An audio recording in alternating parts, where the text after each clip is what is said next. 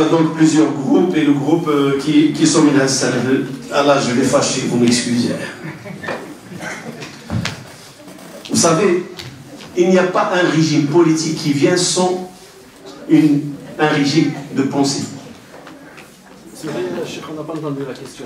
Euh, que ce que vous pensez des groupes et que ce que vous pensez du minage salaf. Malheureusement, j'ai dit, il n'y a pas un régime. Lisez l'histoire, je vous interpelle à la lecture d'histoire, même si vous pouvez faire des séminaires d'histoire, l'histoire de l'islam. Depuis l'arrivée du prophète sallallahu alayhi wa sallam et les compagnons jusqu'à actuellement, lisez l'histoire des musulmans que ce soit à que ce soit à que ce soit en Asie, que ce soit au Maghreb, vous allez comprendre une chose. Et je vais vous la donner cette chose. Il n'y a pas un régime politique qui est venu gouverner le monde musulman, que ce soit ottoman, que ce soit omeyyade, que ce soit abbasid, que ce soit mourabitine, que ce soit sadi, que ce soit tawsin, que ce soit safawin. Prenez n'importe quel régime. Tous ils sont venus avec l'arme et avec l'idéologie. Tous, sans aucune exception. Ce qu'on voit aujourd'hui, les groupes, le salafisme, le minhaj, il fait partie de cette politique. Il y a une doctrine, il y a une idéologie. Il y a un pouvoir, il y a une idéologie. Vous prenez l'Arabie Saoudite par exemple, il faut être franc. Celui qui veut se fâcher, qu'il se fâche. Comme on dit, la mer n'est pas loin à quelques kilomètres d'ici. Il peut boire comme il veut. Quand on dit le wahhabisme, c'est quoi le wahhabisme? C'est la famille Al-Saoud avec la doctrine de Mohammed ibn. Et ceux qui veillent sur la doctrine de Mohammed ibn ils la formatent comme ils veulent. Ils en font ce qu'ils veulent, c'est le gouvernement.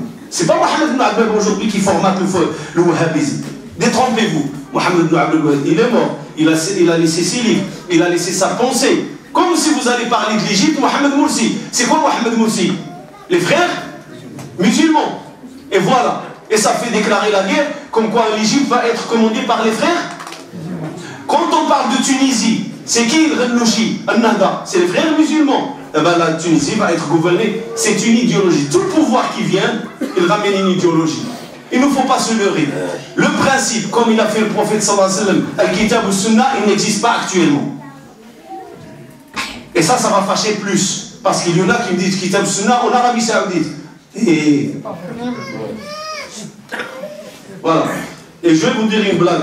C'est pas une réalité. Vous savez, ça c'est quoi? Ça c'est quoi? Vous le connaissez tous.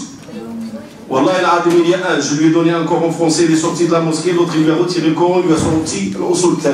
Il lui a dit retire ça, il prend ça. Mohamed ibn Abdullah en face de Mohamed ibn Abdillah. Vous savez c'est qui Mohamed ibn Abdillah? Le prophète sallallahu alayhi wa sallam. Laisse le Coran la révélation de Mohammed ibn Abdillah, il prend l'usul talat. Et on dit minhaj salaf. C'est pas minhaj salaf. Pas du tout. C'est une désorientation. Minhaj salaf, c'est rassembler la ummah. Comme il a rassemblé le prophète sallallahu alayhi wa sallam. Minhaj salaf, il ne prend pas l'étiqueteuse. On est maintenant devenus des spécialistes dans l'étiquetage.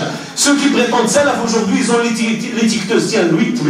Lui, frère musulman. Lui, Hadashi. Lui, Tak. Lui. Et toi, t'es quoi? Tu t'es vu? C'est ça salaf? Diviser la Ummah? Non, c'est pas salaf. Salaf, c'est l'union de la Ummah. Le prophète sallallahu alayhi wa sallam, il est venu pour unir la Ummah. Et celui qui me dit salaf, montre-moi ce que tu sais faire. Je vais aller plus loin. Vous savez qu'est-ce qu'ils font certains frères qu'on appelle les Tbléri C'est des gens de patience. Ils vont sortir dans les quartiers. Ils vont prendre les délinquants. Et ça m'est arrivé à moi.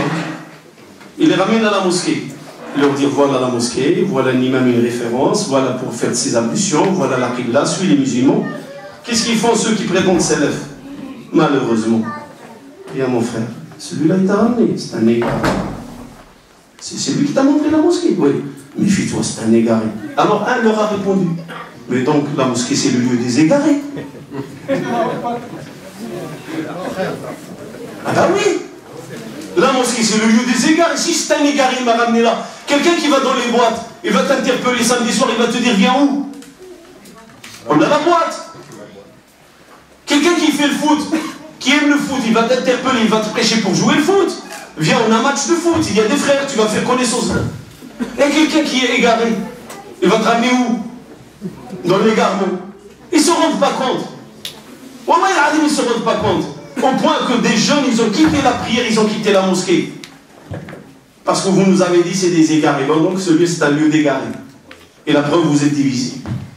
On ne se rend pas compte. Au nom de cela, vous fait des dégâts. Allah nous a dit Vous ne savez pas demander aux gens du savoir. Mais pourquoi? Je vous le dis. Il y a une idéologie derrière. On a condamné Sayyid Qutb, on a condamné le Qardawi, on a condamné le Nadawi, on a condamné tous les savants qui incitent à l'ouverture et à la compréhension de l'islam. Pourquoi? Il n'y a qu'une seule voie à prendre. Tu dois lire au sultan, si tu ne lis pas, tu n'es pas musulman. Tu ne peux pas me retirer ça de, mon identité. Parce que Sahaba, une fois j'étais très loin avec quelqu'un. J'ai ici mis le salaf l'usul talat, alors Sahaba n'ont pas étudié l'usul talat. Alors ils sont quoi pour toi, Sahaba? Eh. Sahaba c'est quoi? Ils n'ont pas étudié l'usul talat, Sahaba. Sahaba, ils n'ont pas parlé usul, tawhid l'uluhiyya, tawhid al-rububiyya, tawhid sifat Ils n'ont pas étudié. C'est des égarés, Sahaba? A'udhu billah. Les plus guidés c'est les Sahaba. C'est les plus guidés, c'est les Sahaba. Et pourtant, ils n'ont pas, anhu, étudié Minhaj Salaf. Alors, qu'est-ce que vous voulez nous imposer? Quand je dis Tawhid, le terme Tawhid n'existe pas dans le Coran. Dites la ilaha illallah, c'est du dhikr. Et au lieu de dire Tawhid, tout prophète, quand il a interpellé sa communauté, il leur a dit dire quoi? Annahu Sortez-moi un prophète qui a dit à sa communauté Annahu Tawhid. Vous ne l'avez pas. Tawhid, c'est un terme qui veut dire rassembler. Rassembler ce qui est éperpillé. Wahad al-juhud, tawhid al-juhud, rassembler les efforts. C'est comme si Allah était éperpillé et on va le rassembler. Astaghfirullah. Non. C'est un ijtihad de Ibn Taymiyyah, rahmatullahi alayhi wa radiyallahu. Pour qu'ils ne disent pas que je suis contre Ibn Taymiyyah, je dis radiyallahu anhu. Wa ala ibn qayyim. C'est un ijtihad, on le prend tawhid ça n'a jamais fait partie de salaf. Donc comme il est enseigné aujourd'hui et je dis la meilleure façon de connaître votre tawhid l'unicité c'est ça. Regardez le bien Mohammed ibn Abdillah la révélation. Le Coran. Voilà. C'est là où vous allez trouver. La ilaha illallah. Et c'est Mohamed ibn Abdillah n'a fait qu'une synthèse de cela. Un ijtihad.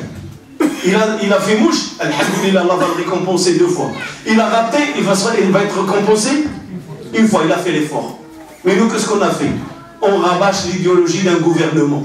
Une fois, j'étais chez un savant, et quelqu'un s'est plaint auprès de lui. Il m'a dit, je viens de Marseille, mon cher est un négari. Il m'a dit, ton cher est un négari? Il m'a dit, oui parce qu'il est parti avec le CFCM, il est parti avec les frères musulmans, il a participé au vote. Et l'autre savant lui dit, rejoins ton chien. Il dit, non, je ne le rejoins pas, c'est un égal. Et il commence à lui citer des choses. Il dit, écoute, je vais te le dire franc. Et Wallah, j'étais le traducteur. L'autre, il parle français, le shir parle arabe et je suis entre deux. J'étais assis à côté du shir, de, à la main droite, j'étais là. Chez lui. Je suis parti faire une en 2003. Quand je suis revenu, j'ai trouvé le scandale ici à Nîmes. Et vous savez qu'est-ce qu'il lui a dit? Il lui a dit Je m'en fiche, égaré ou pas égaré, du moment qu'il distribue le sur le internet. Un savant parle comme ça Pour vous dire c'est une question d'idéologie. Je m'en fiche, je me dis arrête de me dire CFCM, arrête de me dire frère musulman, je m'en fiche de ce qu'il l'a dit en arabe et je l'ai traduit à l'élève en français. Je te dis, le, savant ici te dit, il s'en fiche de ton chir, qu'est-ce qu'il en est du moment qu'il distribue son idéologie au sol? Quand on a les cœurs durs. Et ceux qui vont dans ces, conflits, croyez-moi, c'est des conflits à éviter. Ceci dit, j'ai parlé de ça, mais je vais vous dire une chose. Vous voulez réussir? Éloignez-vous de toute la polémique des groupes. Éloignez-vous. Adhérez au groupe des croyants adhérez à la masse, à la masse des musulmans. Faites partie de la communauté. C'est ce que je vous conseille. C'est ce que je prêche. Et il y en a qui ne vont pas m'aimer parce que je ne prêche pas au sultanat ou ceci ou cela. Non. J'ai des amis de J'ai déjà j'ai des amis à moi parmi les, gens salafis. Ceux qui sont vraiment intellectuellement ouverts, j'en ai des amis.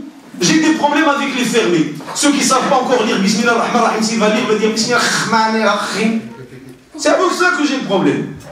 Il ne sait même pas encore lire Fatiha, il vient me donner des leçons. C'est avec cela. Les vrais salafs, les vrais, les vrais, ceux qui cherchent la voie des compagnons et la voie du prophète sallallahu alayhi wa sallam, je n'ai pas de problème avec eux. Wallah, j'en ai pas. J'ai le problème avec ces débutants qui se font manipuler et qui ne veulent pas reconnaître les gens du savoir. C'est avec ceux-là que j'ai le problème. Alhamdulillah, j'en ai. Si maintenant vous parlez de certains sectes, oui, je vous dis, méfiez-vous. Méfiez et faites en sorte que vos enfants ne les fréquentent pas dans leurs écoles et tout. Je suis catégorique. Mais vous me dites un Tibléri, vous me dites un Salafi, dans le juste milieu, comme on a dit tout à l'heure. On est tous des frères, alhamdoulilah. Mais le problème, il est dans le fanatisme, le radical, aller dans les extrêmes.